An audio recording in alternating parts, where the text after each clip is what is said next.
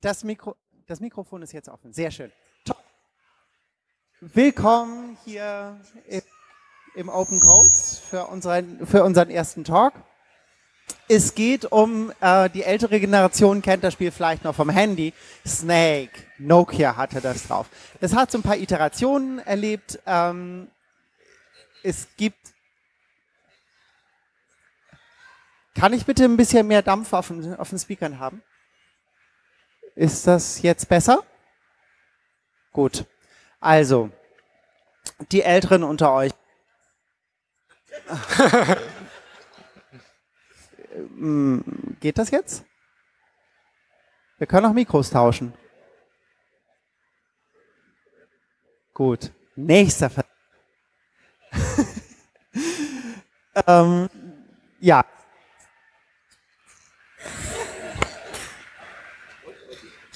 funktioniert nicht, verdammte Hacke. Okay, so, 90er Jahre Snake auf Nokia-Handy kennt ihr alle. Das Ganze hat so ein paar Iterationen äh, und äh, man kann es auf dem Browser spielen, man kann äh, sonst wie spielen, mit immer mehr Tricks und, und die Dinger müssen sich was zu futtern holen. Und man kann damit programmieren. Man kann das halt eben das Spiel selber ein bisschen coden, ein bisschen machen. Und es haben zwei Leute gemacht. Ähm, Saw und Seafreak haben ihre Iteration gerne vorstellen und was man dann machen kann, ist ja auch selber ein bisschen umstricken. Willkommen an die Test, beiden Test.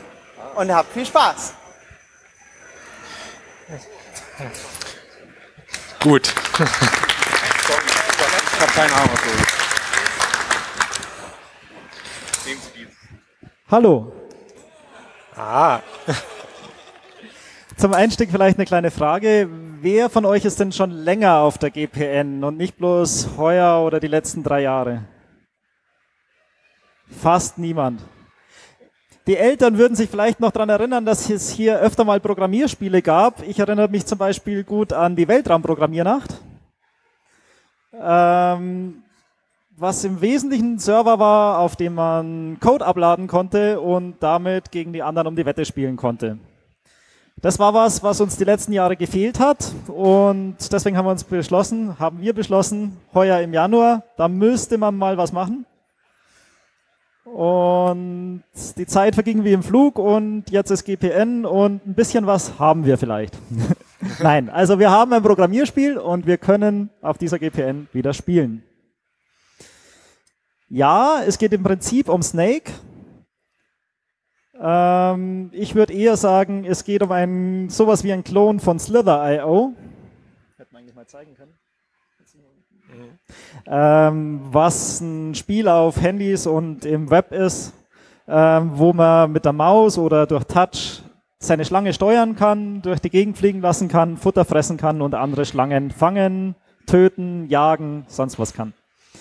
Unsere Idee war jetzt, wir bauen was sehr ähnliches, aber man kann die Schlange nicht selber steuern, sondern man muss ein Skript schreiben, das diese Schlange steuert. genau. Gut. Vielleicht noch vorneweg, nein, das haben nicht nur wir beide gemacht, also Seafreak und Xor, sondern das ist mehr so eine Gemeinschaftsleistung aus dem Bytewerk in Ingolstadt, Ingolstadts besten Hackerspace. Wer in der Nähe ist, kommt vorbei und helft das nächste Mal mit. Gut. Ähm, wie gesagt, jeder kann mitmachen. Das Spiel ist jetzt online. Man sieht, das läuft jetzt hier lokal, weil da haben wir Demodaten drauf, da können wir was zeigen. Genau. Ähm, aber man kann es dann einfach erreichen unter schlangen.bytewerk.org. So, wenn man auf die Webseite geht, dann kann man als erstes mal da auf Watch gehen. Und was man dann sieht, ist das aktuelle Spielfeld mit den einzelnen Schlangen. Die Schlangen müssen sich bewegen. Äh, die, die bewegen sich von, äh, von alleine. Aber was man machen muss, ist in einem Skript der Schlange sagen, wohin sie fahren soll. Es funktioniert folgendermaßen. Ähm, das Spiel ist in Frames aufgeteilt. Momentan läuft es mit 60 Frames die Sekunde. Mal schauen, wie es läuft, wenn wir echt viele Bots haben. Ähm, und in jedem Frame gibt man der Schlange vor, in welche Richtung sie sich drehen soll. Indem man einfach einen Winkel in Radien angibt, minus Pi bis plus Pi. In Wirklichkeit kann sie diesen Winkel nicht fahren, sondern sie kann halt nur kleine Winkeländerungen in jeder Runde quasi ausführen. Ähm, Ziel des Spiels ist erstmal viel Futter fressen, um selber größer zu werden. Und in zweiter Linie natürlich möglichst lang überleben. Und das tue ich, indem ich in keine anderen Schlangen reinfahre. Also ich kann, wie man vielleicht schon gesehen hat, in mich selber reinfahren, das ist kein Problem. Aber ich darf mit meinem Kopf keine andere Schlange berühren, sonst bin ich tot. Tot heißt, ich spawne neu mit mini-klein. Was wir jetzt gerade gesehen haben, ist eine Schlange, die gestorben ist. Und ein Bot, der so mäßig mitbekommen hat, da gibt's Futter und man kann dieses Futter fressen. Weil das ist genau das, was passiert. Wenn eine Schlange stirbt, dann hinterlässt sie ungefähr die Hälfte von der Masse, die sie mal gefressen hat, als Futter. Ähm, es gibt noch ein extra Feature, was man hier, glaube ich, nicht sieht. Doch, da oben rechts ist der Richie. Der tut das, glaube ich. Ähm, Schlangen können temporär Gas geben, um zum Beispiel vom anderen Gegner wegzulaufen oder einen einzufangen. Das kostet aber allerdings Masse, also Futter. Wer es hier durch die Gegend speedet, verliert Futter, das bleibt wieder auf der Karte liegen. Und wenn er zu lange speedet, dann wird er sterben, weil er verhungert. Jo. Ist das, wir noch was? Ähm, wichtiger Punkt vielleicht noch, das Spielfeld ist kein Rechteck, wie es hier vielleicht aussieht, sondern das ist eine Toruswelt. Das heißt, was rechts rauskommt, kommt links wieder rein und was oben rauskommt, kommt unten wieder rein.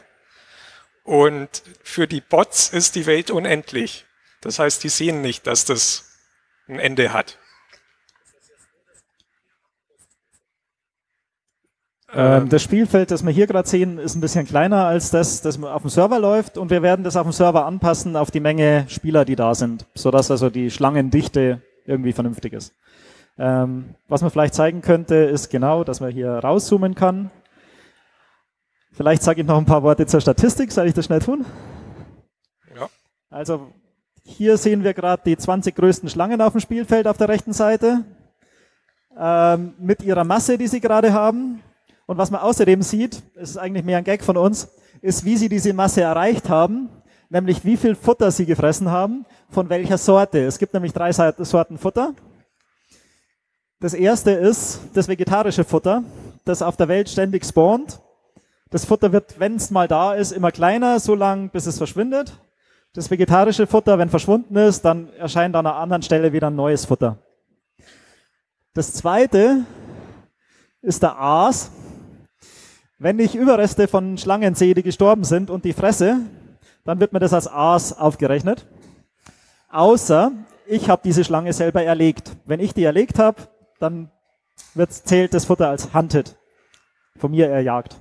Wir überlegen uns noch, ob wir daraus nachher Statistiken fahren und äh, vielleicht Preise vergeben. Gut. Ähm, wenn am, du kannst vielleicht noch schnell auf einen Bot klicken oder so, dass man den mal nachfährt. Wenn ich einen treffe.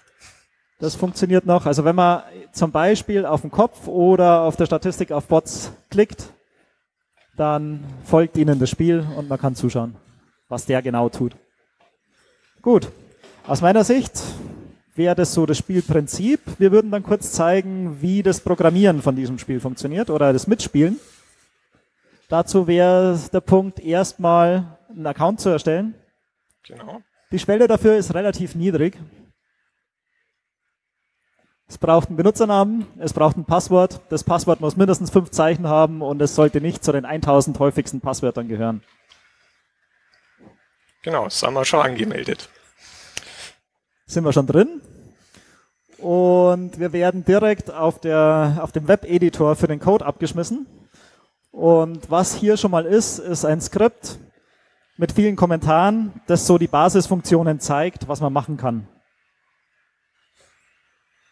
Ähm,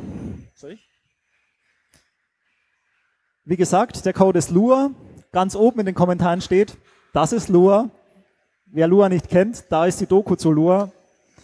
Ähm, es ist nicht unsere bevorzugte Programmiersprache, muss man dazu sagen, aber man kann sie sehr leicht in C einbetten und das ist der Grund, warum es bei uns hier läuft. Weil Python relativ schwierig zu sandboxen ist, soweit ich das in Erfahrung gebracht habe. Sonst wäre es Python geworden, auf jeden Fall. Okay. Ähm, in diesem Skript muss man, damit es funktionieren kann, mindestens eine Funktion definieren. Jeder, der irgendwas auf sich hält, hat mindestens zwei Funktionen, nämlich eine init-Funktion und eine step-Funktion. Die init-Funktion wird aufgerufen, wenn der Bot zum Leben erweckt wird. Und dort und nur dort kann er zum Beispiel seine Farben setzen. Wir haben noch Features offen, die wir gerne implementieren möchten. Vielleicht wird das was in der GPN, sowas wie man kann sich sein Gesicht raussuchen. Aber kann ich noch nicht versprechen. Ähm, was man also hier sieht, ist die Init-Funktion, in der ähm, gesetzt wird, dass die Farbe von unserem Bot abwechselnd oder vielleicht hat man das gesehen, die Bots ähm, bestehen aus Segmenten von zwei, drei Segmenten bis ein paar hundert oder sogar ein paar tausend, wenn es ein echt großer Bot ist und die Segmente sind einzeln eingefärbt. Was man bei Self-Colors in dieser Init-Funktion eintragen kann, ist eine Reihenfolge von Farben und die wird dann immer wiederholt für den Bot, solange er halt ist, für jedes Segment. Neben der Init-Funktion, die eigentlich wichtige Funktion ist die Step-Funktion. Die wird aufgerufen jedes Mal, wenn der Server einen neuen Frame berechnet. Im Idealfall also 60 Mal pro Sekunde. In dieser Funktion muss ich irgendwie die Welt um mich herum erkunden, mir überlegen, was ich tun möchte und dann als Rückgabewert zurückgeben, was ich tun möchte. Und dann wird der Server damit weiterarbeiten.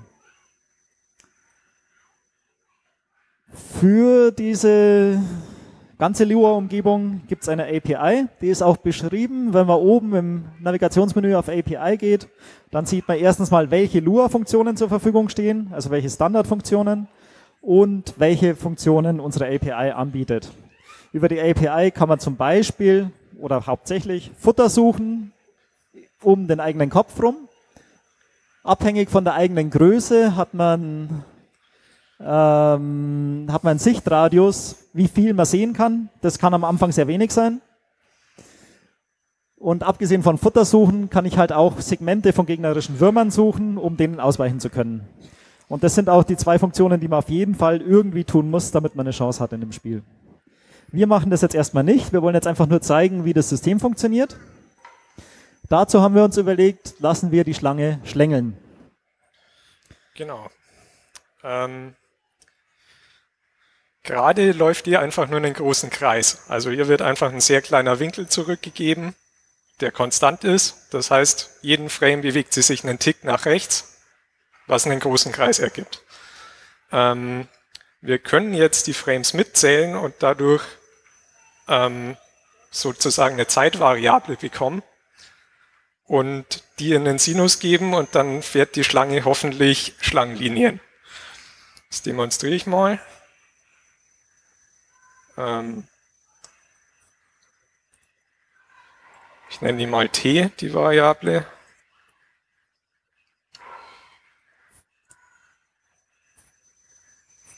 Dann können wir, können wir die hier jeden Frame hochzählen.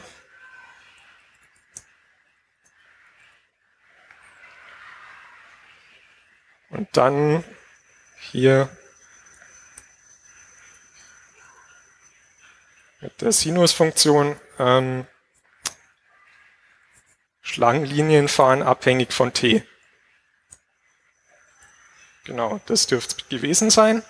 Dann klickt man auf Run. In dem Moment wird die aktuelle Inkarnation der Schlange getötet und spawnt irgendwo neu mit dem neuen Code. So, man sieht jetzt auch, die IDE verfolgt die neue Schlange und wie erwartet fährt sie Schlangenlinien.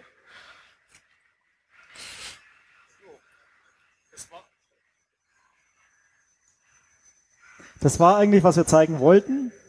Ähm, wie man das Spiel wirklich spielt und sich gegen die anderen behaupten kann, das müsst ihr selber rausfinden.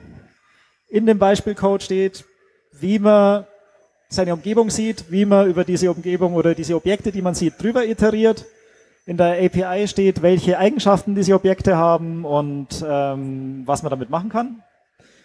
Ansonsten, wir haben einen IRC-Channel eingerichtet, SPN 18 Ja. SP, Channel SPN18 auf Hackend. Oder wenn Fragen bestehen oder Anregungen, wir haben ein mittelgroßes SNOC aufgebaut, das Snake Operation Center.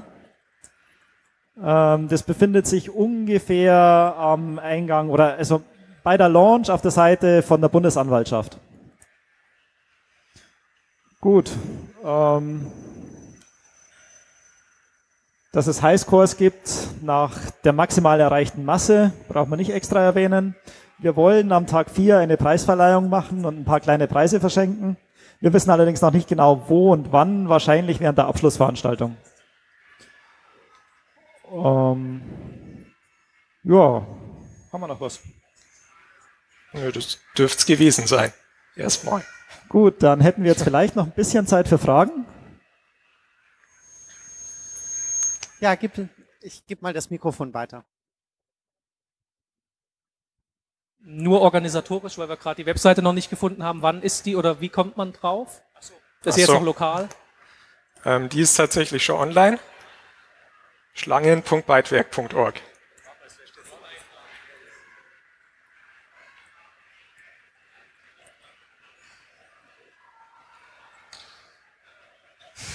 Gut, weitere Fragen?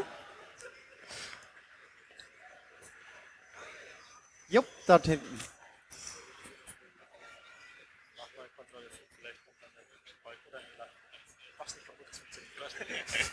Ähm, wenn die Bots äh, Turbo einschalten, wenn die Bots den Turbo einschalten, äh, verlieren sie ja Masse. Ist das Futter und gilt das als vegan oder was anderes?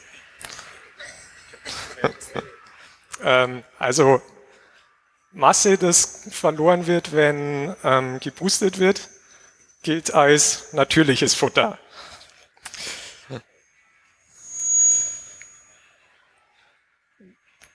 Gibt es noch Fragen?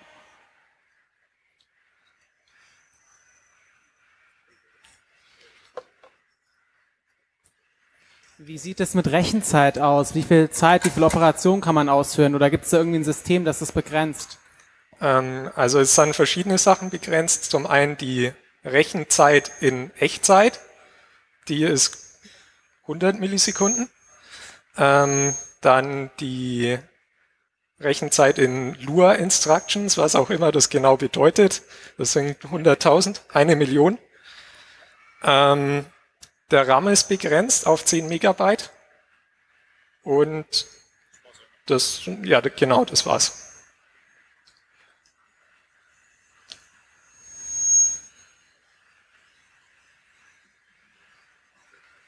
Gut, dann danke ich, danken wir euch herzlich für den Vortrag. Ähm, viel Spaß beim Programmieren und ja, viel Spaß auf der KPN.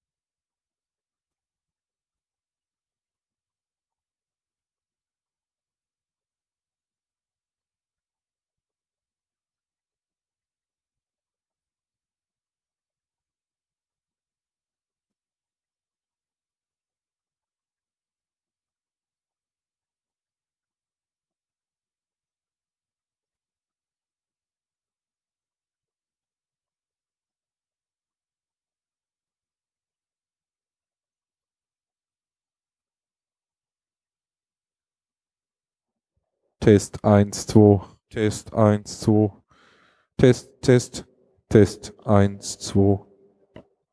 Ähm.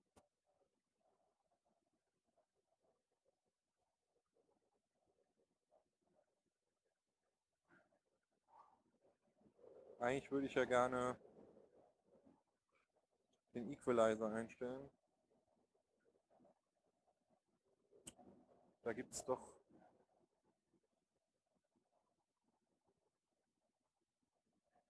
hat sich halt alles geändert hier. Ja, super.